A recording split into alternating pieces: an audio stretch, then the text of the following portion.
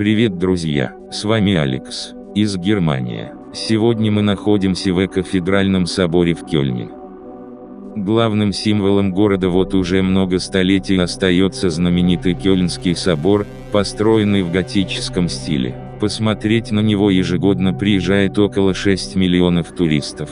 Дом, как любовно называют каменную громаду местные жители, начали возводить еще в 1248 году. Незадолго до того в Кёльн из Милана были перенесены мощи трех царей, в православной традиции именуемых волхвами, что спровоцировало поток паломников со всех уголков Европы. Столь значительной реликвии требовалось особое место, поэтому архиепископ Конрад фон Хахштаден утвердил проект грандиозного сооружения с пятью нефами. Небывалый размах привел к тому, что процесс в буквальном смысле затянулся на века.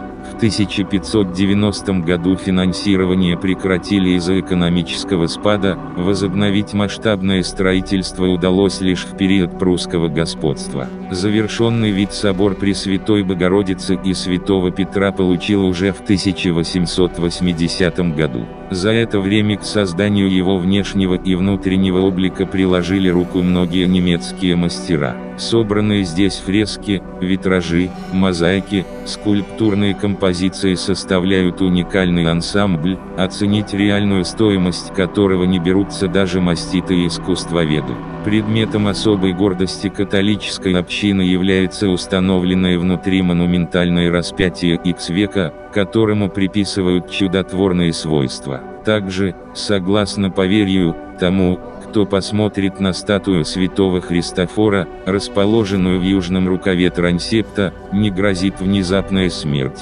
Как только состоялось пышное празднество по поводу завершения строительства, тут же началась его реставрация. С тех пор она не прекращается, ведь дожди, смог мегаполиса и постоянные вибрации, Кёльнский собор находится рядом с железнодорожным вокзалом, ежедневно проносится мимо более 1000 поездов, не идут на пользу святыне.